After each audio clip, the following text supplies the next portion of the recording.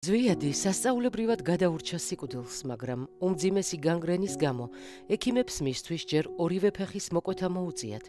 შემდეგ მარჯვენა ხელის იდაყვამდე, მარცხენაზე კი თითების, ერთი მეორის მიყოლებით.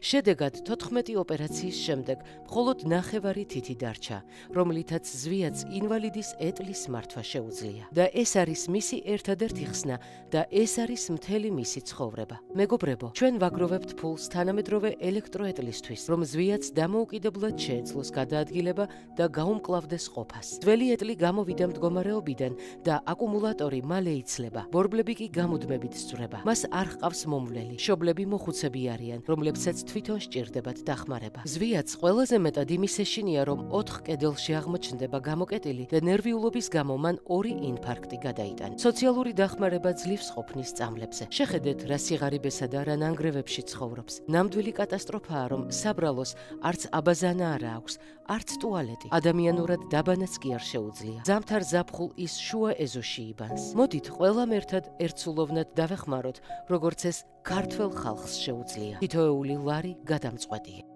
გადარიცხეთ ნებისმიერი თანხა ჩერნოვეცკის ფონდის ოფიციალური საიტის მეშვეობით.